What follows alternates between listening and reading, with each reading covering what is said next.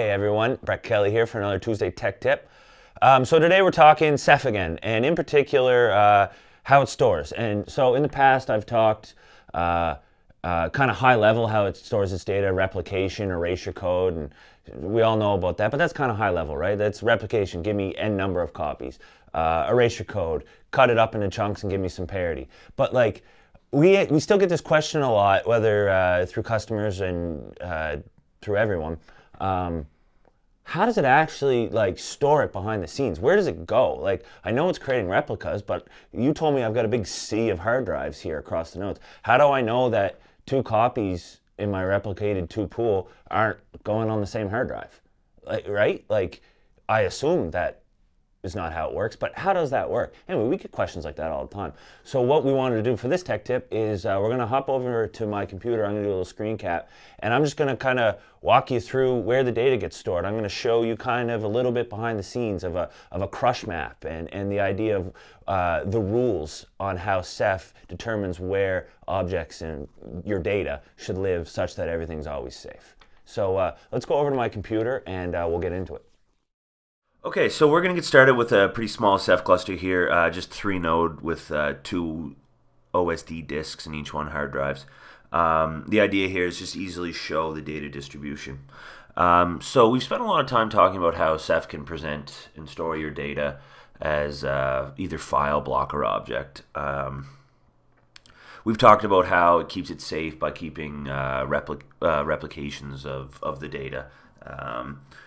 Or um, erasure code, how it splits it up into k number of data chunks, m number of parity chunks, and distributes around the cluster, similar to a RAID. But uh, we never really talked about how Ceph quite keeps things safe behind the scenes. We know it's just a bunch of disks and a bunch of storage servers. Um, no RAID. What ha what happens if a disk fails? I know I've got copies, but what happens if the my copies are all in the same hard drive? Like, how does Ceph prevent this from happening? So that's what I want to talk about today. So uh, the key kind of driver to all that is called the crush algorithm, and that's uh, controlled replication under scalable hashing. Now, the crush algorithm uh, algorithm essentially determines how to store or retrieve uh, the data in the cluster. Um, how does it do that? Well, it stores and retrieves from the data locations. So what are these data locations? Well, the data locations are the physical hard drives or SSDs or NVMe, whatever your physical storage media is, organized into OSD hosts. And it is best represented as a tree. Um, and what this, this, this thing is, is called the crush map and it is the organization, it's the visualization, it's how us as people and how the the crush algorithm can um, visualize our storage cluster, if you will. So if we look right now um, on my screen here, so I'm on this Ceph dashboard, and we're looking at the default crush map that was created when I built this cluster. Now you can get pretty crazy into some custom crush map, eh, custom crush maps, but we're just going to stay with the default here to get an understanding of what's going on. So as you can see, we've got our default root, and that's just like our the the root of our tree of all our possible storage locations. Uh, I have three hosts, and in each host there's two physical uh, OSD hard drives. So this is where the data is going to go. But these are all individual hard drives. How, if I write to a three replicated storage pool that's living on this cluster, how how do I know that all three copies aren't going to go into OSD zero here? Because two problems with that, uh, it's not very safe at all, and three, um, two, uh, two, it's just uneven data. Like you just get a horrible. We want a clean, even distribution and we do not want our copies all on the same storage media, and even further, even in the same host. So how does Ceph, how does Crush do this?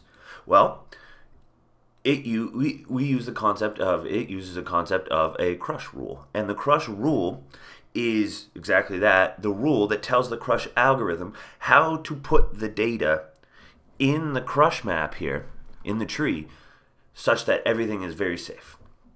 Uh, so let me hop over to this screen here and I'll show you the, and let's look at the command here to create a replicated rule. Um, the concept of, of what I'm going to get into applies to erasure code as well, but it's just really easy to visualize with replication, so we'll, we'll focus on that. So let's look at this command here. So we're going to create a, excuse me, uh, create a new replicated crush rule. So it needs a name. Everything needs a name. And then the root. Uh, the root is our default root here. Again, I said you can get pretty crazy with the custom maps, but uh, for the time being, we would just use the default root. Um, and the magic here, the real, the real important one that answers that question I was asking, how do I keep my data dispersed, is the failure domain type. So this failure domain type can be uh, a number of different options, but we'll just talk about two right now to keep it simple. It can either be host or it can be OSD. And what that means, if I set this failure domain to host when I create a rule,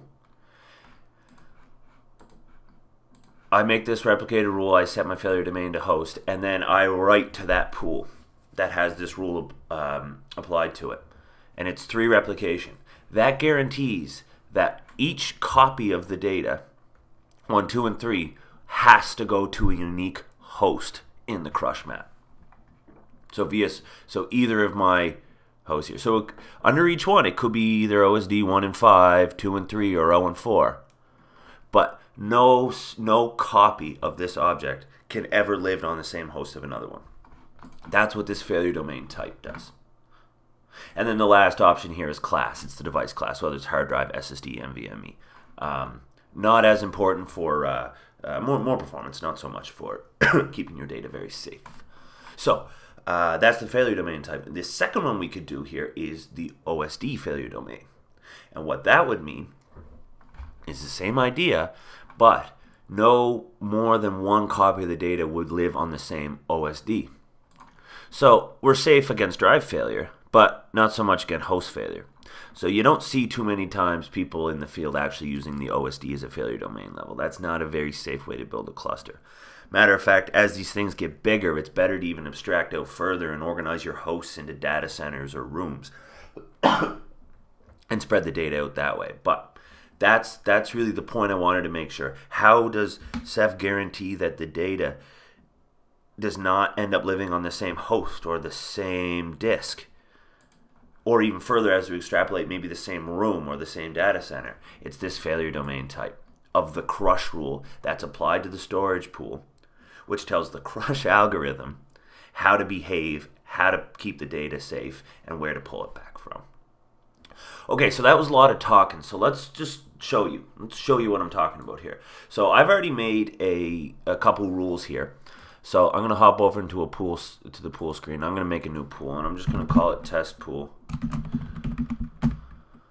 And we're going to make a replicated pool. I'm just going to pick small number of placement groups. Doesn't matter so much for this. And I'm going to use one of the rules that I've... The replicated rule gets made by default. Uh, replicated HDD is another one I have here. And let me just hit this mark. So what this is saying is it's a replicated rule. My data type or my device class is a hard drive, so only put uh, uh, data from this pool on hard drives, and my failure domain is host. So if I uh, if we if you know, look at this one actually.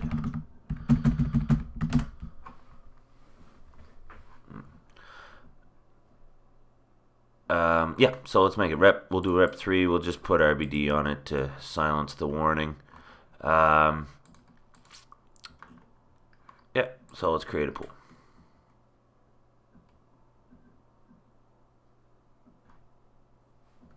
Uh, just take a minute for it to go active and clean. Okay. So uh, there's our pool. Okay, so we have our test pool created, uh, replicated, uh, device class only live on hard drives, and failure domains at the host.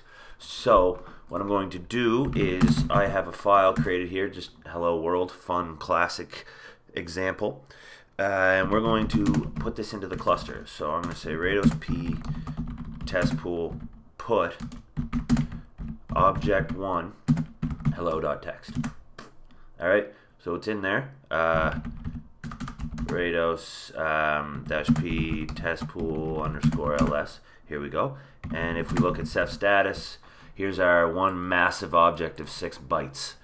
Um, so that's all well and good. It's in the cluster. Uh, how do you know it's following our rule? So let's take a look at Ceph OSD map and then test pool object one and I'm going to fix the format.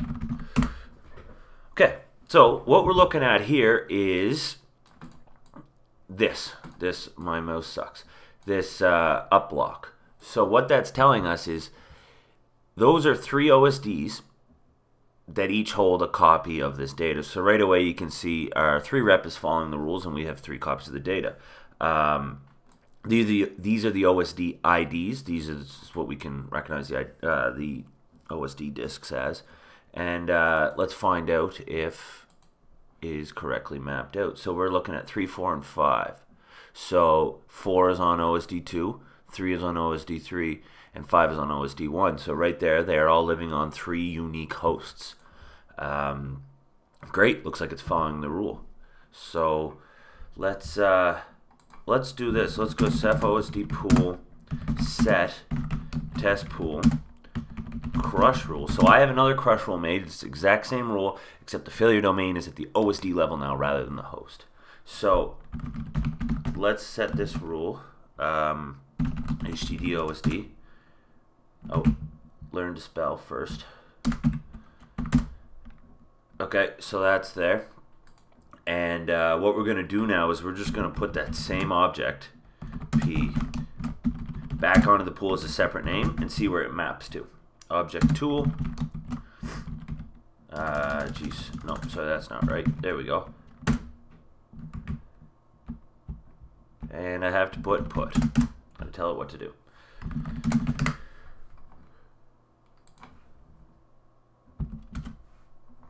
There, these are two objects of 12 bytes. And uh, let's map that out. Ceph OSD uh, map test pool object 2 fjson pretty. Alright, so here is our object 2 made on the pool after we've changed the rule to OSD failure domain and we see 1, 5, and 3. So 1 and 5 are on the same host and that goes to show you right there that kind of way to illustrate the rule. Um, that failure domain is really the key part that keeps your data safe. Uh, of course, this is a simple example of just host and OSD. Um, a lot of large clusters can sometimes span rooms or data centers, and you can extrapolate these, these maps out bigger and have your default have a data center tree and then many hosts below it and, and organize data that way. So um, incredibly, really uh, scalable way of storing data. Obviously, that's why Ceph is such an amazing project. But uh, hope uh, this gave you a little more insight on uh, where your data is actually going and how you can trust that it's safe and sound. So there it is, a, a uh, little deeper look into uh, what Ceph's actually doing behind the scenes and keeping your data safe and how it follows the rules to keep everything dispersed. Um, again, yeah, hope you learned some, hope you enjoyed that. As always, reach out, questions, comments, any of our social media. We'd love to hear from you. Um, fun fact time. Uh, as always, I'm out of fun facts now. Um, so I'm going to go to my old trusty friend Reddit here. I was browsing the other day and uh, found a good thread. It was like, what's your favorite fun fact to pull out? They're always fun to read through and found a couple good ones. But one of them actually, the reason why it is top 40 hits is that jukeboxes could only fit 40 records on them. So the owners would use the top 40 list as a way to know which records to buy.